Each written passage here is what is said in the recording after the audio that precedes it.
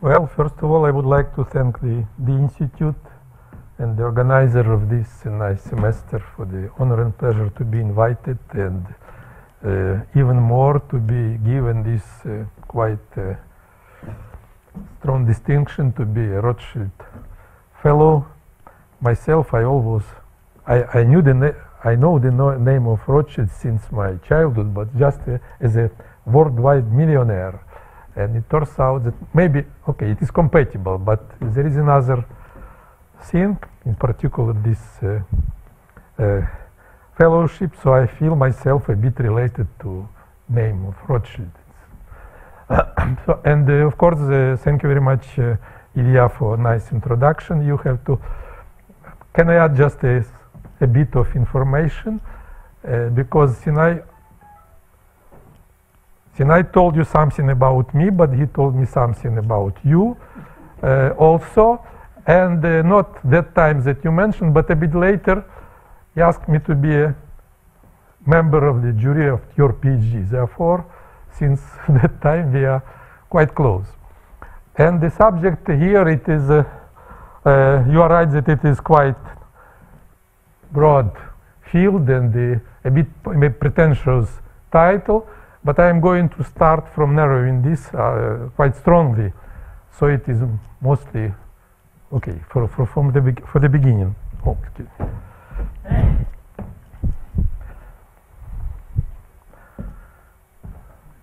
Now, uh, the outline of my talk. First, I'll discuss certain general things.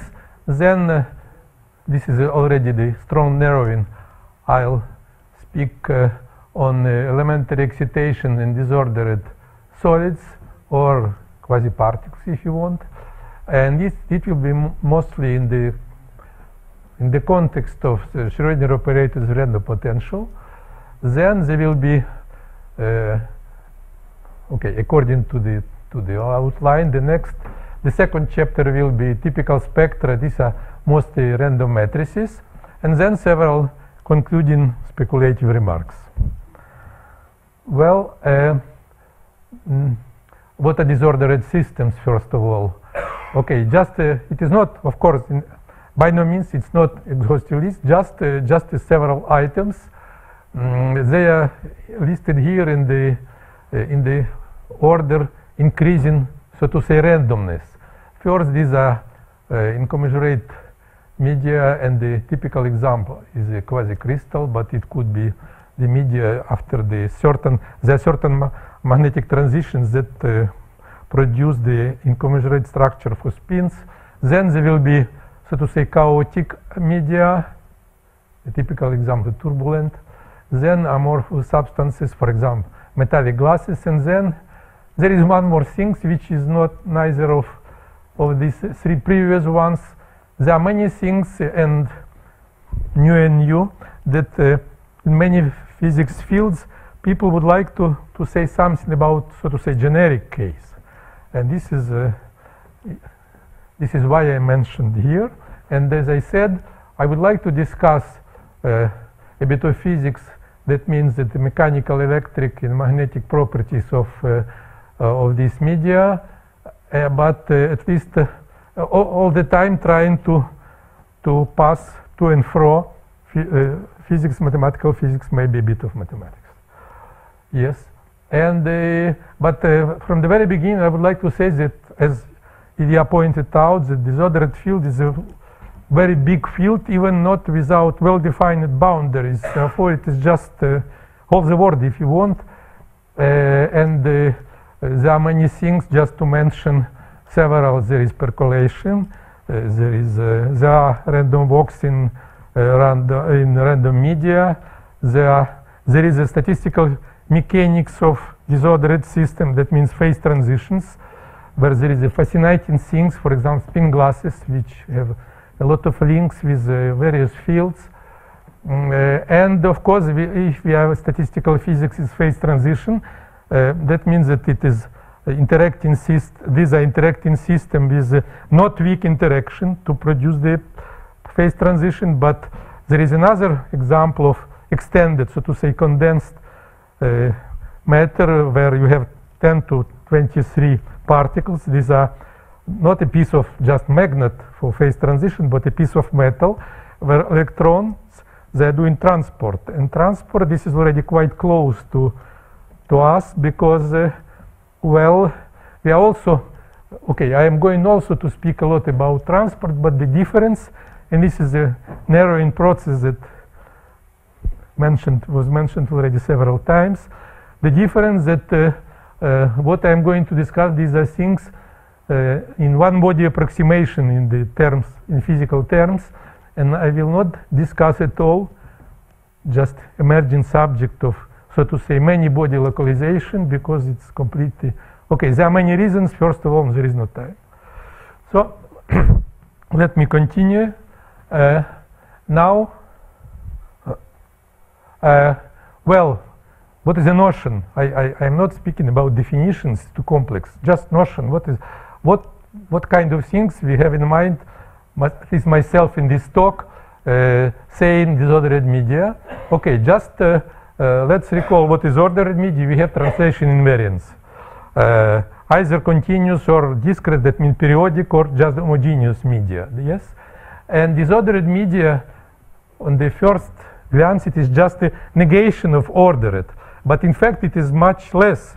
Because if you just negate, that means everything, everything except translation invariant case, which is too big, the subject. Therefore, in fact, we consider the system at which there is a, a, lot of structure. And in particular, uh, what we have in mind, not, okay, what is, uh, what people have in mind saying disordered media, there are at least two properties. They are weak, but they are quite serious in many cases.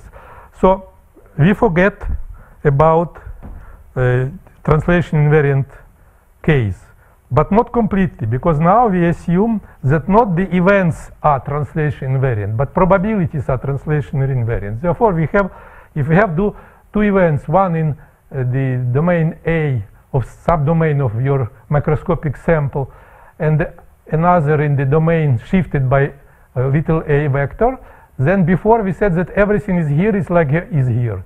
Now we are saying that the probability of things that happens here, they're the same as probability of things that happens here. It is quite natural thing uh, uh, because uh,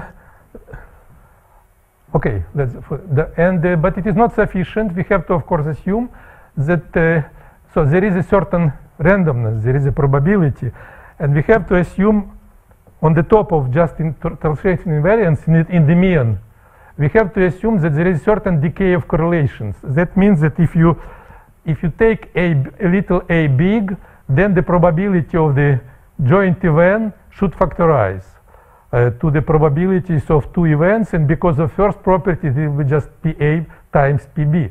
Yes, and uh, uh, and of course, uh, this is just a bit uh, from the point of view of any mathematician uh, the, the error because there in probability and ergodic systems there is a lot of there is a whole hierarchy of of this factorization. Uh, simplest one is called ergodicity next is mixing then strong mixing there is regularity there is a uh, undeterminicity etc etc but anyway we have to assume two things together. One of them is translation invariance and second certain decay of correlation, which could be, by the way, quite, quite weak if it is about ergodicity, and it is the case in, in commensurate system when we have just weakest form and nothing more, and it makes the system a bit special. Uh, many people in this audience, they know that to say something and to, to find something, to obtain certain result on spectra of, uh, okay, of uh, incommensurate system, randomness, okay, does play big role. There are other methods, there is special technique. But in many cases, just uh, this uh, point of view is also, uh, of course, very useful. Well, and uh, what, we, what we have from that, we have quite general property that if we have a, a an observable that, is, uh, that corresponds to the system at big volume V, then just, okay, this is just we have a certain realization of our randomness, say distribution of configuration of impurities in your uh, big, uh, of your macroscopic sample of metal, and you, you study, for example, the free energy conductivity, which are extensive quantity. That means that this observable is roughly speaking proportional to the volume, at least when volume is large. And it is reasonable to, to, to, to introduce into study the, the, this quantity per unit volume. And the, there is this property which is called self-averaging. It was implicit in many things, early things in, in disordered system. It was first explicitly formulated by Ilya. Myself, I learned it from him. And there is a self-averaging property. That means that despite that these things for finite volume is random, at the limit it is not random. And that means you have as probability one, the convergence of this quantity to the limit of the expectation. Uh, and this is quite uh, convenient because, uh, first of all, it reflects certain just empirical facts because we know that the conduct conductivity of a piece of metal with impurities doesn't depend on the on the configuration of impurities, depends on the concentration of impurities. A concentration is a parameter of the probability distribution. Therefore, uh, this, this, reflects, or for example, free energy of disordered system has the same property. So uh, we have this property, and it follows immediately from the from the two properties from the uh, translation invariance in, in mean and the decay of correlation because you, you repeat a standard argument to prove the thermodynamic limit. You just divide your big volume to subvolumes are still big no, but not so big. You do the little corridors. They, they are small not to contribute to this arithmetic mean and they are big to decouple correlations. And then you get standard argument from the law of large number if it is independent, okay, if your randomness is strongly, strongly uncorrelated, weakly correlated, or you just use ergodic theorem if the correlation is strong enough, but nevertheless, in any case, you get uh, an analog of law of large numbers or ergodic theorem that allows you to prove this result, which is quite general. It's, by the way, the same in systems with interaction. This is why I call the first chapter uh, uh, uh, generalities. But there, there are exceptions. Uh, this just let me to mention. If your volume is not big enough, because on the previous slide you have seen just V to infinity, that means that volume is indeed big. If volume is not too big, for example, about one micron, then it was it was observed in many experiments that these are these are small metallic particles. Uh, there are fluctuations of conductivity, and it was found uh, eventually that these fluctu there are fluctuations, therefore there is no self-averaging uh, because the system is not big enough. Uh, the, this, the remarkable thing was that there are fluctuations, but they are universal. Otherwise, it would be quite hard to say something because you have a strong dependence on realizations. You have nothing more or less, I know, well defined. And this is uh, the field is was quite uh, flourishing in, in the end of 70s, beginning of 80s, there were several groups doing this. In particular, in, in this audience, we have Dima Khmelnitskii, who, who contributed a lot in this field. Mm. Now, uh, let me pass to the second part. Uh, it is elementary excitation, so I repeat what is it.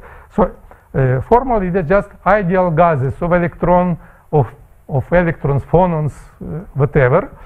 And uh, I repeat, this is a called quasi-particle um, description of condensed matter.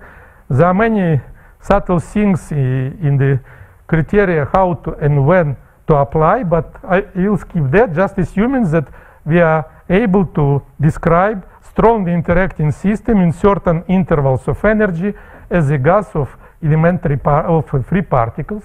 And then the problem reduces to the problem to study one body operator, that means the operator of finite number of variables, typically and even archetype case, this is Schrodinger uh, operator or Schrodinger equation with random potential, uh, discrete or uh, or uh, I know or continuous, and these are three typical examples of random potentials, which uh, reflects these classifications that I gave before. So there is the first potential. You have just a lattice of size, which are not random and at each lattice you have a random potential, random bump which models somehow an impurity or better to say these are just so-called substitution alloy. Typical example, for example, the the copper uh, gold, which is uh, is almost which could have at each side of the lattice. The lattices of copper and gold they are almost the same, and if you add to say a copper a bit of gold, they are sitting at the same sides with probability equal to the concentration. So we have so-called uh, alloy type random potential. All size are IIDs, for example, excuse me. So you have an, a sufficient amount of randomness. Uh, this is the first example, typical. Second, you have a just a chaotically distributed points. These are Poisson points. This is a, a kind of model, simplest, a toy model of amorphous medium. And the third example, these are just, you see, simplest quasi-periodic function which models is simplest model of, uh, say, quasi-crystal. If alpha is irrational, of course. If alpha is irrational, you have a periodic case. And you are back to, to ordered case. Well, and this uh, uh, eventually, okay, uh, to describe all these things in more or less general frameworks, it turns out to be useful to introduce the notion of ergodic operator, which is a, you start from, uh, from standard uh, triple of uh, probability theory, probability space, sigma algebra, and probability measure, and you add uh, a group of measure preserving transformation, and these things is known, sometimes it's called abstract ergodic system, and then you consider the operator either matrix or integral operator, differential integral operator, acting either here or here, and you assume the property of its matrix or its kernel that a shift on the realization could be translated to the shift of the arguments, yeah?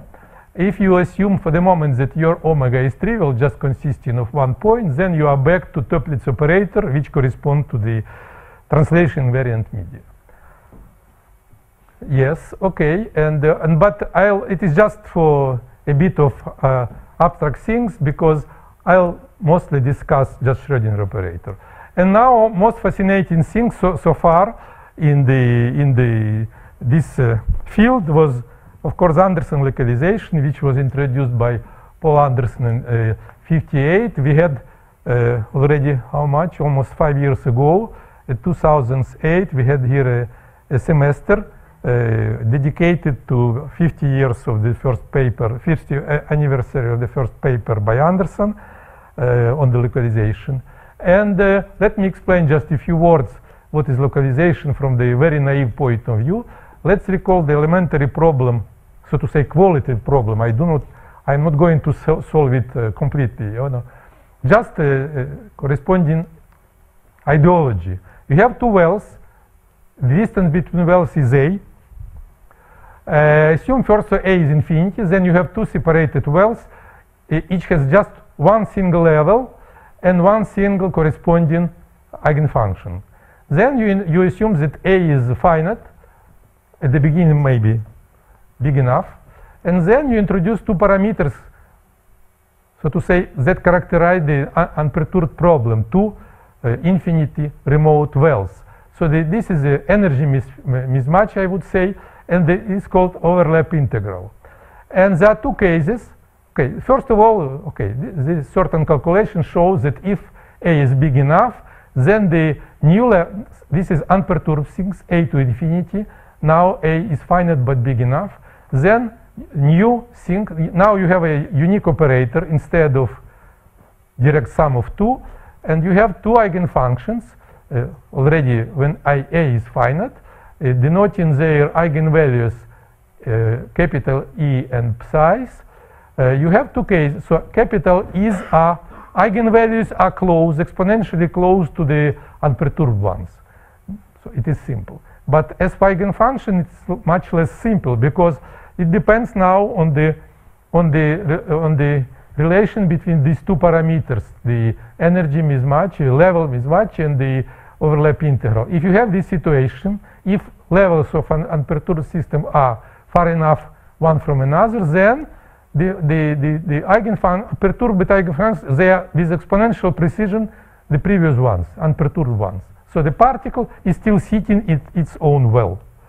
But if you have an opposite asymptotic regime, in particular from if these two wells are the same, just the same shifted to, to the same well shifted by A, then you have completely different situation because now eigenfunctions are completely okay collectivized.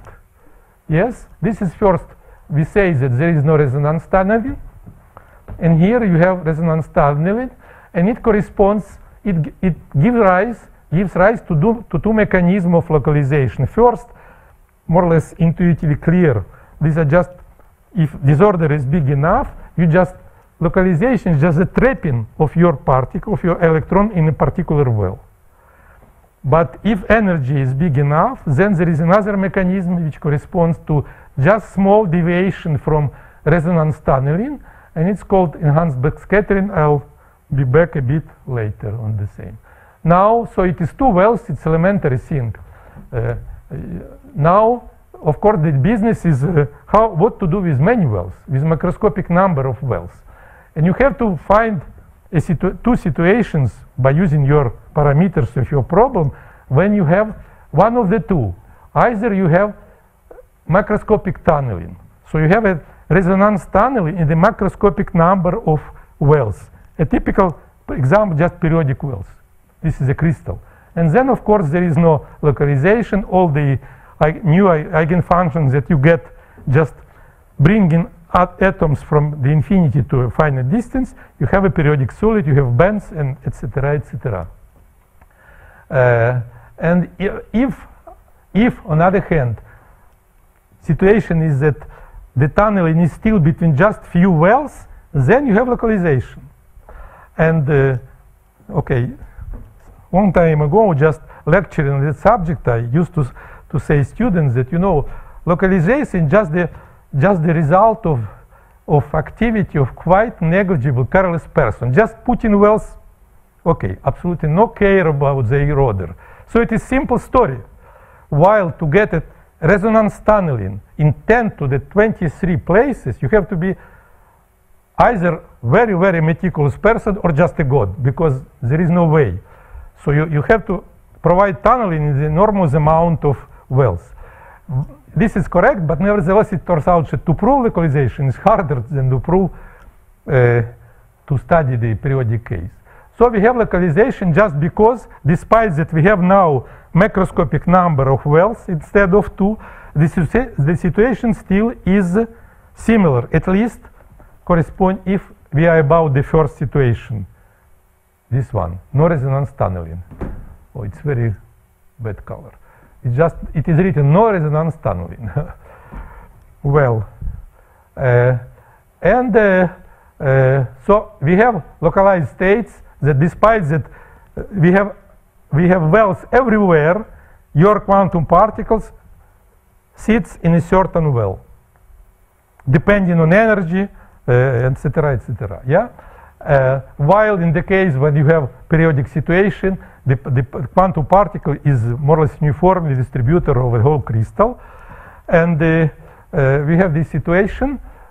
Now there is a third situation which corresponds Uh, the classification of abstract spectral series. There are three types of spectrum. There is uh, point spectrum, there is uh, absolutely continuous spectrum, there is singular spectrum. So this third kind of spectrum also appears in this ordered system, but in in not too strong, not too much disordered. That means mostly, mostly in the quasi-periodic cases. Well, we have this situation, and uh, I, as I said before, localization was first uh, formulated in implicit, explicit form by Anderson, and there were Ilya Lifshitz and uh, Nevill Mott, who was here for many years in Cavendish laboratories, that contributed a lot. Uh, to, to the things uh, just uh, the same, more or less at the same time. Yes, and, and the last thing that what is a spectrum, typical spectrum of the, say, Schrodinger operator with random potential. Uh, now I am about just a band or a discrete case when spectrum is finite. So the near band edges, we have always for any strength of disorder, we have certain amount of localized states uh, okay, if the disorder is not big enough, the localized states, uh, okay, occupy just a part of the whole spectrum, and the, the, the, uh, the, the boundary between the uh, between localized and non-localized spectrum is called mobility edge after after Mott. By the way, the very existence of the of the uh, of these things is still is still not proven mathematically. We know everybody believes, but still it is not proven that uh, th that could be no overlap, for example, between these two spectra, or uh, okay, or their points, etc. But nevertheless, uh, there is a lot of physical and numerical results now showing that this picture is correct. Uh, that if we if we increase the disorder, these mobility edges will move one to another and eventually they, they merge. In that case, we get uh, uh, the situation when all the, all the wave function, all the states will be localized and there will be, there will be no transport. The, part, the electron will not go through the crystal and this is in complete correspondence to the title, the, this uh, paper by Anderson, which is uh, whose, whose type is absence of diffusion in disordered system. Diffusion means electrons, yes? Well, and this is new notion of, uh, of the insulator because standard classical notion, which as far as I know was worked out here in Cambridge. Uh, am I right? Wilson was here? Yeah. So according to which the, the what is a what is an insulator? You have a just periodic system but you have two bands, conductance in the valence and conductive bands, and there, there is a gap between them. And electrons fill the valence band, and okay, we have a can't jump uh, the gap if the field is not strong enough. So we have an insulator. But if the bands uh, overlap, then you have conductor. But here we have another notion, because if we have a, a portion of extended states, then of course we have a conductivity. But if uh, extended state disappear when mobility edges, these are even a name suggests what is going on. And uh, if they merge, then uh, th there is no transport, there is no propagation of particles via your sample, and we have a insulator but completely different me mechanism of the of the insulated states. Well, uh, what about just a bit of math because uh, okay, according to the prescription, uh, there, there, should be lecture of broad uh, subject, but for the mathematical audience, therefore I, I, I, have to say something about mathematics. Just few results. There is a lot. I, I am not able to mention all the things, and I just uh, apologize in advance of all the incompleteness of my references. So in, in D1, we, we have now, it was first suggested by Mott that in one-dimensional case, and of course, if your potential is random enough, then uh, you'll have complete localization. Uh, I mean random enough, the correlation decays. But amplitude of potential could be any, just very small, and nevertheless you have already localization. Uh, for dimension bigger than one, we have a, at the moment we have the regime of strong localizations that if potential is big enough, then you have a localized states for the part of the spectrum, and this is precisely what is described on that, on that slide, previous slide. And it was, again, the effort of, even so far, the, the, the interesting work on that, on, on that topic, uh, but the, the, two crucial papers were Fröhlich and Spencer, and then Aizenman Molchanov. Were two different approaches to, to the problem of strong disorder. Mostly in Aizenman Molchanov, there is a small issue concerning the uh, weak disorder, but nevertheless, it is basically strong disorder, uh, which uh, we have now. and of course, in doing that, we, we gained a lot of information and new understanding what, uh, about the structure of the of spectrum of typical operator with a bounded potential because before that what what did we have we have basically three cases we have a growing potential at infinity. This is more or less trivial thing. Resolvent is a compact operator. Spectrum is uh, discrete and finished. It was done before war by Rellich and many people. Yeah. Another case, decaying potential. This scattering theory, fascinating field. Potential is absent at infinity. You have scattering. There is a lot of interest in mathematics around, and it's okay, okay basically done. And the third type, neither growing nor decaying, The only case roughly, but not roughly, but precisely was a periodic case. And we had the absolutely continuous spectrum consisting of bands, etc. Now we, we understand that our random potential, which doesn't grow because of translation invariance in the mean, systematically. It could oscillate, but it doesn't grow.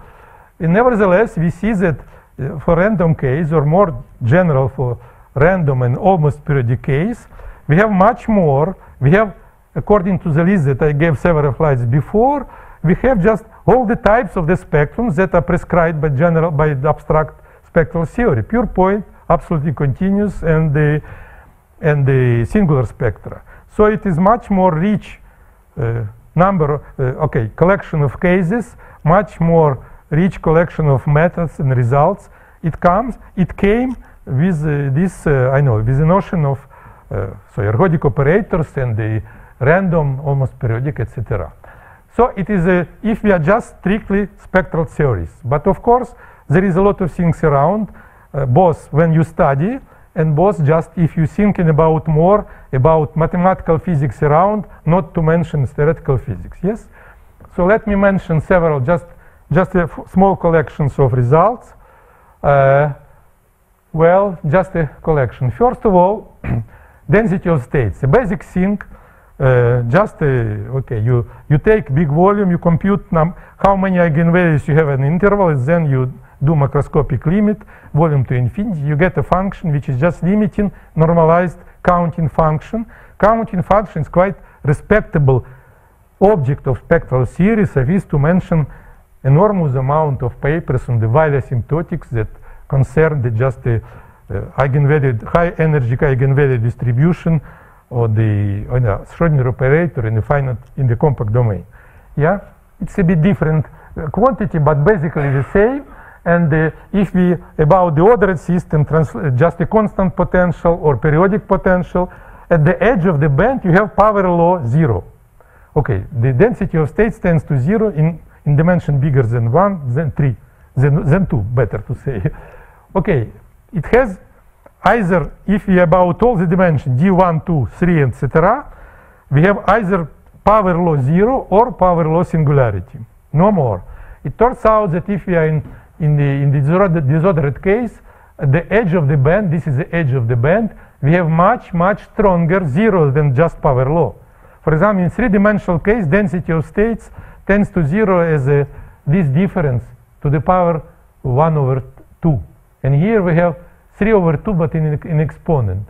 It's called Lifshitz tails, and uh, uh, okay, there are many explanations, etc. Let me just mention so myself, I also used to think that it is a kind of large deviation theory, but in spectral context, if you want. But uh, it requires a lot of things, even being the simplest possible quantity. Then there is very nice result which came, uh, uh, okay, not immediately after the first papers. Uh, this is about so-called dynamical localization. It's quite natural thing. If you take just spectral projection on the interval delta of spectra and just its kernel, and it turns out that expectation of this spectral projection decays exponentially, and the rate of decay is, roughly speaking, is just a localization radius. It is the scale on which your eigenfunctions, okay, localized exponentially, yeah? Now, uh, I am listing the results in the order of more complexity, and the, the, the further we go, the less we know. Yes? And now, now uh, there is an important result which which is, so far it was just uh, spectral theory, now there is, a, there is a bit of physics. If you have uh, our uh, ideal gas of electron in random field, which corresponds to the, in quantum description, to the Schrodinger equation is random potential, then the conductivity of this, uh, of this gas is zero. It is just, uh, if you want, it is, a, again, this is in fact initial result by, by Anderson, which uh, in fact assumes that it is the case in even presented certain arguments uh, in his famous paper. I read once a, a, an opinion by Mott, who got the Nobel Prize together with Anderson, that this is a famous paper that every, everybody cites, nobody understands. Uh, I mean the proof. But nevertheless, result is correct. It was proven uh, at least partly now. And there is a short, short uh, one more field in which localization was quite useful is the integer quantum Hall effect. And uh, let me mention a, certain application to a new field, uh, which is now just quite, uh, quite uh, active. There are hundreds of papers on various topics. This is called entanglement. Okay, this is quantum informatics. And there is a quantity which plays important role called entanglement entropy. I have no time to, to discuss physical meaning, but uh, from the point of view of mathematics, you have a simple thing. You take a projection, spectral projection of your random Schrodinger operator on a given interval delta, then you make a restriction of this projection on a finite volume, and you compute the trace of this finite, okay, the compact operator, or even finite dimensional discrete case, the trace of uh, h of p or uh, subindex lambda. h is a, just a standard binary entropy of, uh, okay, binary entropy if you have information theory just. So, and uh, it turns out, so there is a big problem. The problem is much more general. It is about, in fact, interacting system. And the, there is a discovery made, by the way, in black holes, in astrophysics and high energy physics, that this uh, entropy corresponding to a given volume, in, in general case definition is much more complex. But it behaves like that. Uh, if uh, the spectrum, your operator, has a gap, in translation invariant case, it was, okay, there were many people who made this conjecture. I, there is not place even to listen to them, but basically it was uh, Bekenstein, I believe, and Wilczek and co-authors. Yes? Then if there is a gap in your system, then uh, translation invariant case, the entropy behaves like the size of your box, but in the power dimension minus one. It is a big uh, surprise because in statistical physics, the ent entropy is proportional to the volume. It is just extensive quantity. And here we see that it is just uh, proportional to the surface, which is, this is why it's called area law. And, but if you, there is no gap, then you have a extra log term here. So it, it grows faster. And there are certain proofs on the level between mathematical physics and theoretical physics of this result. Uh, uh, there is Michael uh, Hastings who, who, made a lot. But uh, if you just, it turns out that there is a toy model for this field. you just consider disordered fermions. They do not interact. And you are inside, you take your interval inside the spectrum. Therefore, there is no gap.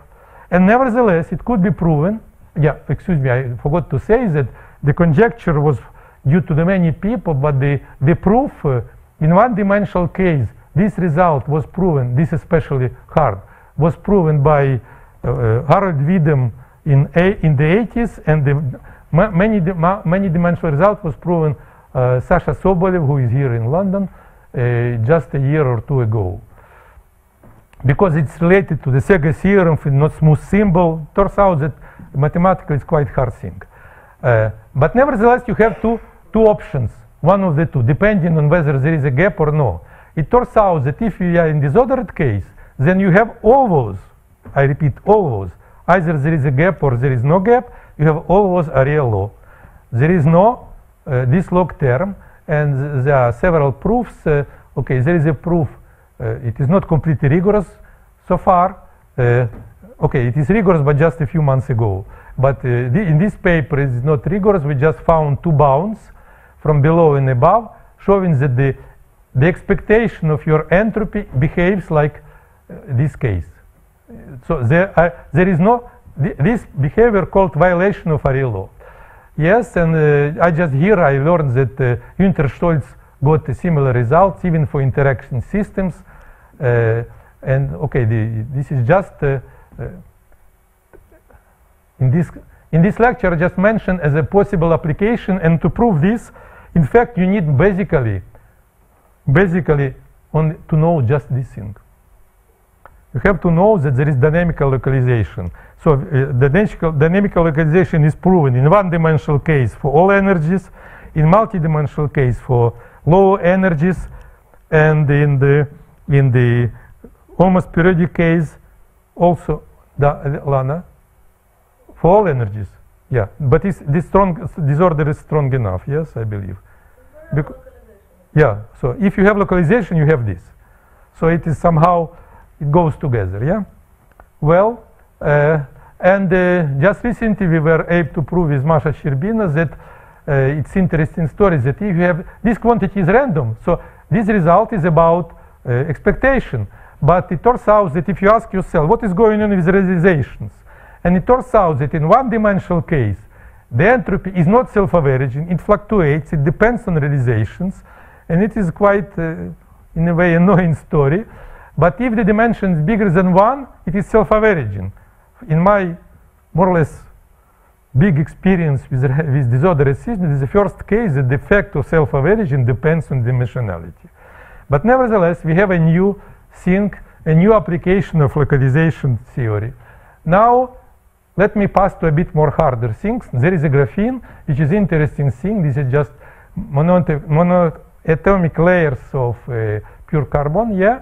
And here, we, instead of Schrodinger, we have to study Dirac operator. And uh, in, in one-dimensional case, it's simple, because it turns out that if you write this operator, there is no localization at all. Because it is, in physics, it's known as the Klein paradox. I, I have no time to discuss. But if you add this potential, which is called chiral effect, then you have localization, you have a lot of things, still not too much studied by, by mathematical physicists and spectral theorists. Well, next thing more hard, uh, it's about uh, conductivity. For, you see, the localization was introduced by Anderson to prove, to, to, to, to show that there is no conductivity in random media, and the spectral theory, despite all its successes, still is not able, okay, it is able to prove the conductivity is zero for DC, for direct current.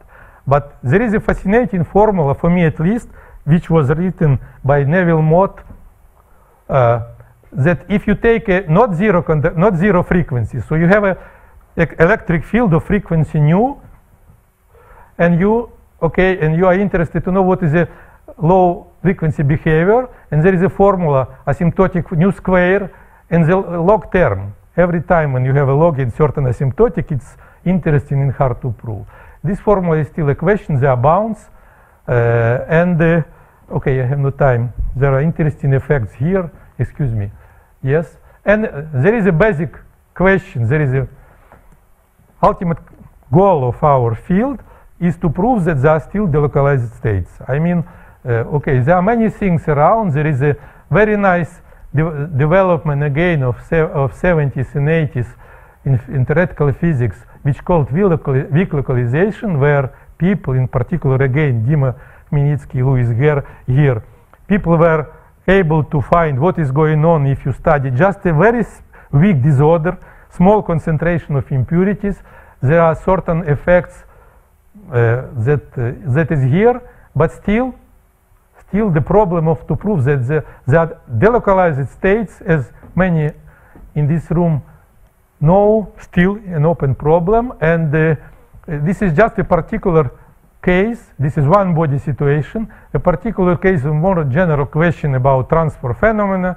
But in, in my opinion, okay, I am a bit puzzled what is going there because from the point of view spectral theory, because I do not see so far how, which spectral theory it's quite interesting and I believe int interesting and uh, there is a lot of perspective in his in this question, but uh, spectral theory, so, so, far I don't understand how it could be built here because, because we have to deal with these uh, the operators with 10 to the power to the 23 number of variables and how to, to deal with this operator it's not clear question. Let me, let me pass, I'm a bit late already, to the second topic which is as random matrices. This is a field which is uh, mostly uh, starting from 50s, more or less the same time, by the way, a bit late, uh, earlier than Anderson. Uh, the founding father of this field is uh, Eugen Wigner, and his first paper is 52, and the first paper by Anders 58, both in Princeton. Yeah, and uh, so what is it about? It is much simpler mathematically. It's in just a matrix. You have a n by n matrix. In fact, uh, in random matrix theory, we used to say we have a matrix. In fact, we have a sequence of matrices for each n, and we are going to take n big. So there is a six, for any n, you have a matrix. And now there are two, there are two basic examples of matrices studied mostly so far. First, first matrix, you just take, uh, okay, you just take x, y, j. Uh, these are variables. Uh, okay, I forgot to write that they are symmetric. Excuse me. Uh, what is going on? Stop. It's a mistake, excuse me. Some mixture in the slide. okay, let me write. It's some mistake. So we have two types. First, we have a matrix. Forget for the moment that there is this uh, factor.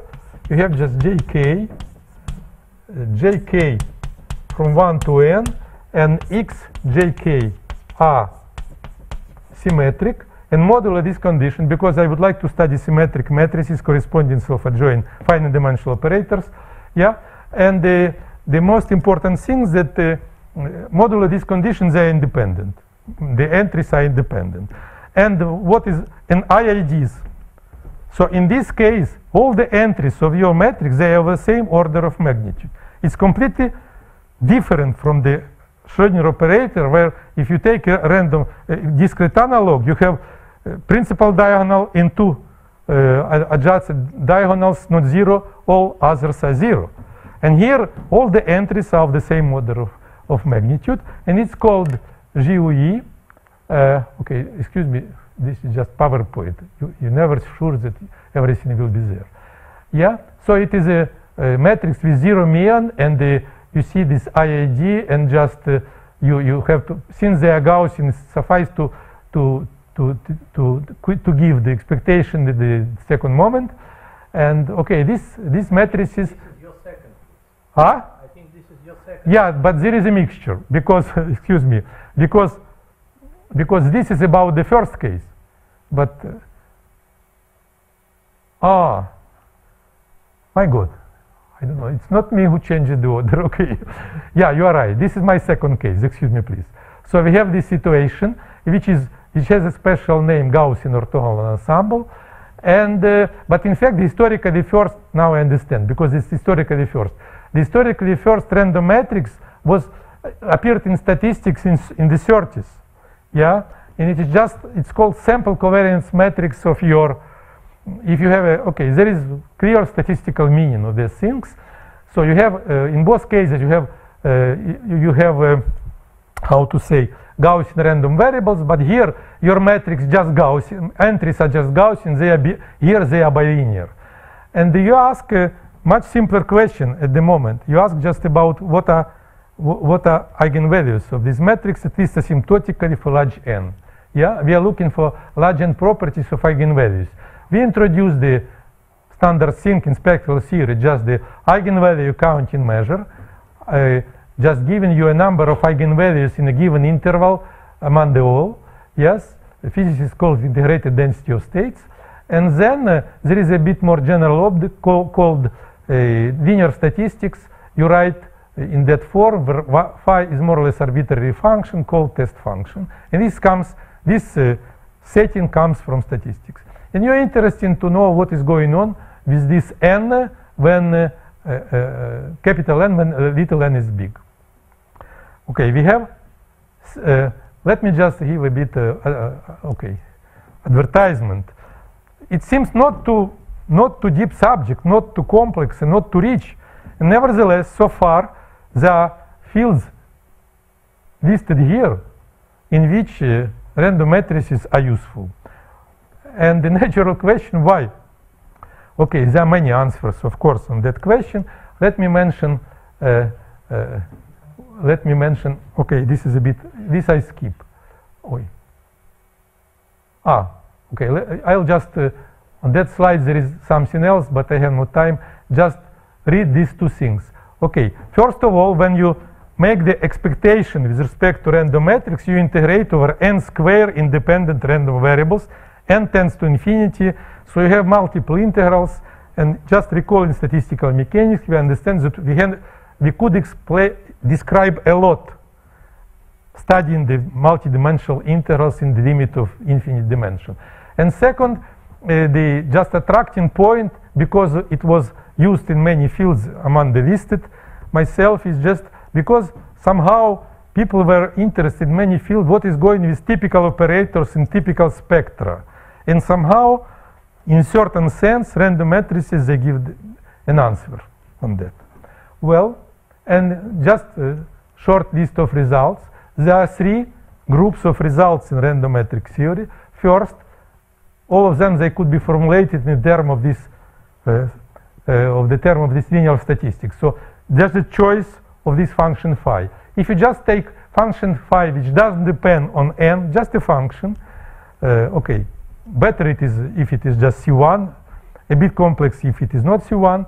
Nevertheless, you take this function which is independent on n, and you are able to prove uh, an analog of law of, large numbers, which is which reminds us the existence of the density of states in random Schrodinger in the case when you have a, a ergodic situation. So the limit exists with probability 1 is not random. So it's self-emergent property of the density of states. Yeah. And uh, even in many cases, you can find explicitly the limiting density of states, density of this limiting measure. There are two basic cases. First was found by Wigner. This is for uh, Gaussian orthogonal ensemble. It's called Wigner ensemble, in fact. Yes. And in another case, it was Marchenko and myself. We found for sample covariance matrices. But the, the, there is a lot now. And what are applications? There are two basic applications. Uh, this is, uh, okay, let me mention just one. Okay, uh, there, there are fluctuations of, uh, you can describe the capacity of uh, channels, telecommunication channels with many users. For example, the, Uh, the provider of certain, uh, okay, Orange or, uh, I don't know, Kyivstar in, in, in Ukraine. There are many providers that provide you the mobile, just a cell phone, cell phone service. There are many users, and you can describe a certain certain processes in these uh, telecommunications by using random matrices. Well, there is a, it is just uh, for fun. You see, it is a Wigner sem semi-circle distribution. You see, it converges quite fast. The first curve is just a one-dimensional matrix, just random variable, Gaussian.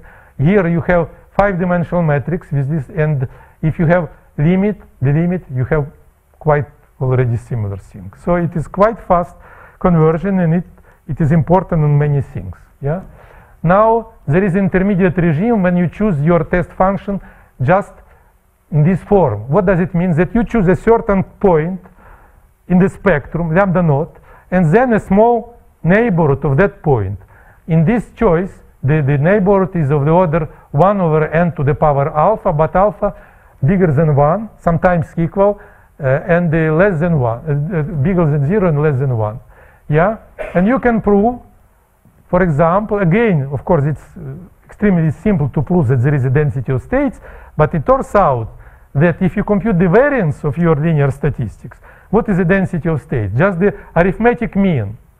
So your probability experience uh, uh, says you that if you have a law of large numbers, you have to have convergence with probability 1. Next term should oscillate, should have Gaussian oscillation. There should be central limit theorem, yeah? But it turns out, yes, there is a central limit theorem, not always, but if yes, the variance doesn't grow with n. We know that in the case of independent random variables, the variance grows linearly with the number of terms. Here it is just bounded. It has a finite limit. So the correlations between eigenvalues are much more strong.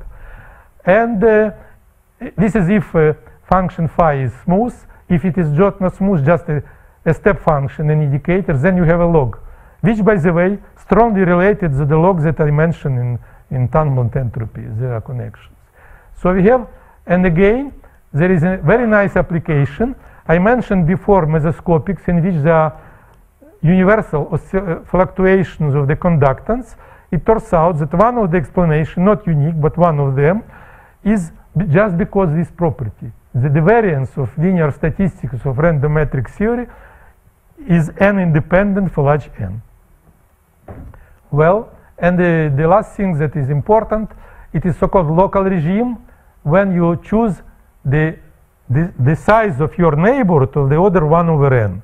And here there is a famous conjecture, I believe it was Dyson who first formulated it implicitly, explicitly, there were certain feelings before in 72 that whatever random matrix you have, if there is enough of independence between entries, say they're independent or weakly dependent, then in that regime, the quantity written here, the probability that a small interval is empty, there is no eigenvalues, yeah?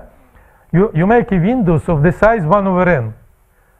Forget about this normalization, just to have a nice answer. In fact, you take a lambda, lambda naught you choose, and then you just take a window of the size 1 over n, the n is the size of matrix. And the, the conjecture is that the, the, this quantity at the limit, when you take n to infinity, will have a, a, an universal form written here.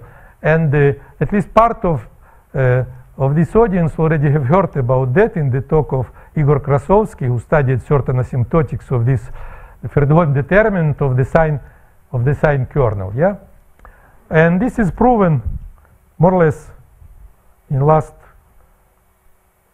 15, 80 years. Uh, uh, okay, there are several groups of people proving that, but uh, just uh, let me mention an important application of this uh, of this thing. So, uh, if you know the, this gap probability, you take just two derivatives with respect to the, this scaled length of the interval, and you get an important quantity. Uh, I'm finishing in five minutes. Yeah, uh, important quantity, just the probability distribution of spacing between nearest uh, eigenvalues. And uh, uh, okay, this is universal. It does depend on the on the matrix in question to large extent. It depends, in fact, on the one only one thing, whether your matrix is Hermitian or real symmetric. And this is by the index beta, which is for the real symmetric 1 and for uh, Hermitian is 2. And you have, you see for small s, you have s to the power beta. That means that eigenvalues, they are, they are repulsing one another. They do not want to live close enough to one another because the probability to have two eigenvalues on the little distance in the scale 1 over n vanishing. And this property of repulsion turns out is important to a number of things. Okay, the subject is quite old. It, it dates back to the famous in quantum mechanical paper, mechanics paper by von Neumann and Wigner. But uh, uh, uh, let me just mention, uh, show you several pictures showing where it, it appears. Yeah. So this is just a, this is about this, this picture is not about Hermitian matrix, but about unitary or orthogonal. It turns out that with respect to local properties, when you are dealing with a, with a little neighborhood of given lambda, uh, this is the same. Hermitian and unitary, they behave locally the same, and the uh, real symmetric orthogonal also. So this is just uh, numerical results. So these are just, uh, you take random points, independent random points on the circle. And you see, there are clusters. It is far from being uniform. While if you take random unitary matrix, what does it mean? You, you, you take the group, unitary group UN of big, n is big, and you assume that just you, you view group as a probability space, R measure as a probability measure, and your mat matrix U now is, is random, yeah? And you compute its spectrum, you make a numerics, and these are, these are results. You see, there is to high to large extent this is uniform distribution. So there is repulsion. So there is a small uh, probability to, to be close enough is small, and also probability to be far enough is also small, even much more. It is exponentially small. You see probability to have large, large S, large spacing is exponentially small. So eigenvalues, roughly speaking, physicists used to say sometimes that eigenvalues of random matrix, they are like, like like sides of a crystal because they, the distance between them neither big nor small somehow okay between of the order 1 over n yeah uh, and here uh, you see the nice picture of this PS this is just probability distribution of spacing For, you see Poisson, standard exponent, we have clustering here. This is a histogram. You see what is it? It is this is uh, this uh, curve which is just Gaussian orthogonal ensemble which I mentioned before. And now this is just uh, okay. This is a nuclei of uh, erbium, and uh, you have a 108 spacing. And this is a histogram. You see, it repeats more or less GUE curve. This is why Wigner introduced matrices. He would like just explain this experimental, would explain to explain this experimental fact. Yeah? And now it is more or less explained. But it turns out there are much more sequences when we have the similar distribution. In some cases we are able to prove that it is correct. In some cases we have just numerics and good conjectures. Yeah. So you see here the, again Poisson, and there, cluster, there is a clustering. Yeah. This is uh, prime numbers there, still, there is still clustering. Now we go into the same nuclei of erbium. There is less clustering, already a kind of uh, more or less uniform. Now you go to Sinai billiard. Sinai billiard is uh, archetype case of chaotic system. Chaotic system a bit similar to the random system. You can describe it in certain, there are certain arguments, physics arguments that allows you to describe this case, this uh, system by using random matrices and you see that it is justified because uh, distribution is already to large extent uniform. Now you go, you go, I believe that everybody here heard something about that, that zeros of zeta function, they are also described by this distribution, which comes from random theory. It is quite already uniform, and here just uniform distribution. And let me finish to say to, to make several, just in fact, two speculations. The first is not a speculation, but widely accepted conjecture in spectral theory. Just let's compare. What do we know uh, about the eigenvalue spacings, yeah, distance between nearest eigenvalues. So just in the first part, I listed all the cases when you have corresponding to the previous picture, where you have this so-called Wigner-Dyson distribution, which is for random matrices. You have a lot of different fields, and the last one, which concerns us, is it turns out that it is, a, it is a conjecture that if we are in absolutely continuous spectrum for infinite crystal, for infinite system, for big enough but finite system, we have to have Wigner-Dyson distribution. This is a conjecture. There are certain, I know, partial results confirming the conjecture, but still no proof. On the other hand, this uh, Poisson distribution is another limiting case when levels are not, are not correlated. Okay, this is more or less proven that it is the case in integrable systems. And the second case, these are eigenvalues of in the localization regime. It was rigorously proved first by Molchanov for the one-dimensional case, just continue our joint work with Ilya. And then it was proven by Minami for uh, arbitrary dimension, just basing on the on this strong localization approach. Yeah. So, and uh, now there are many discussions that, well, we are not able to prove that there is absolutely continuous spectrum. But at least let's try to prove that instead of absolutely continuous spectrum, we have this Wigner-Dyson distribution for high energies, or in the middle of the band. It is still not proven, but okay, there are certain hopes. Yeah, and now let me finish just speculate to speak, speculating a bit more. Let me, uh, there is a there is a folklore in in okay in both fields, random matrix theory and the and the random Schrodinger operator, that random matrices they are somehow mean field approximation uh, for the for the random Schrodinger. Okay, I am not sure that all the mathematicians here they know what is a mean field. Therefore, let me say several words. We have a standard, we have a standard classical say or quantum, doesn't matter. You have a system of particles that interacts, not ideal gas like before, interacts via pair, pair interaction, and but we, we choose the interaction in special form. We just make interaction like z. So we have a function phi, and uh, whose support is 1, and now our interaction is written like z. That means that the radius of interaction just r. R is finite thing, yeah? So all the particles that, that are in the inside of the sphere of the radius R in, in a given particles interact and outside no. So, but it is per, interaction. And it was proven, okay, the folklore was known since uh, uh, uh, end of 18th, 19th century, Curie Weiss, van der Waals, etc. But if you take R big enough, then it was proven in, in, the 70s, first by Van Kampen and then Lebowitz and Penrose made rigorous proof that the, when you compute the free energy of, for fixed R, macroscopic limit, infinite crystal, yeah? And then after that, you, you, you, you make R ten, uh, going to infinity, you'll get van der Waals theory. So it is a kind justification showing that van der Waals theory or Curie Weiss, which is mean field, you obtain from short range case just making radius of interaction bigger and bigger.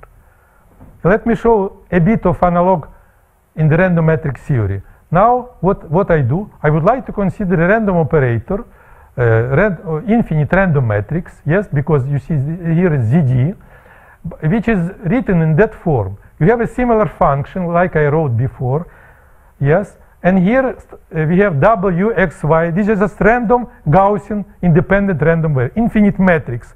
But you cut it because the support of function phi is 1. So you take infinite matrix W, X, Y, infinite all dimensions, and then you cut a band of the width R in the uh, around the central uh, principal diagonal. Sometimes it's called band operator band matrix. And you fix R and you compute the density of states. Okay, it exists. Unfortunately, you can't find it explicitly, but it exists with probability 1. This is a result of ergodic operators theory. But it turns out that if after this, just expanding your box to the infinity, and then after that, that means doing. Thermodynamic cleavage, and then sending R to infinity, you get for the density of states just Wigner law. So it is weak, but nevertheless positive result showing that is indeed random matrix theory is a kind of mean field approximation. And it makes a certain hope that by using not random Schrodinger operator when you have just nearest neighbors interaction but just band matrices where band is big enough maybe we would be able to prove that there are delocalized states and the speculation is like that let's consider the eigenvalue density of states for finite r. The Lifshitz tails, you see, this density of states on the band edges is quite small, exponentially small. Now, but if r is big, it is written on that slide that you see, we have, let me remind you, what is a semicircle law? It is just uh, very simple. It is indeed a semicircle. You have, so you have here just square root of, of uh, e minus, okay, e naught minus e here. This is E naught. Yeah? And there, there, there are no Lifshitz tails. And Lifshitz tails, everybody who worked in localization, we know that Lifshitz tails, these are simplest manifestation of localization, of strong localization.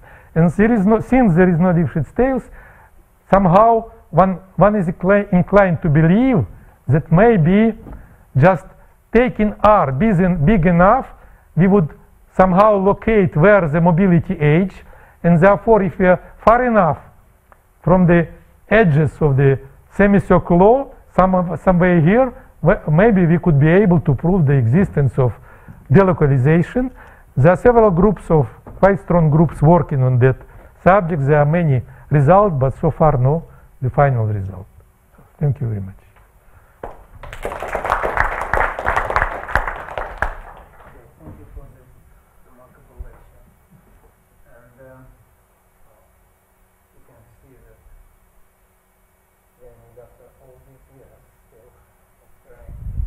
promote some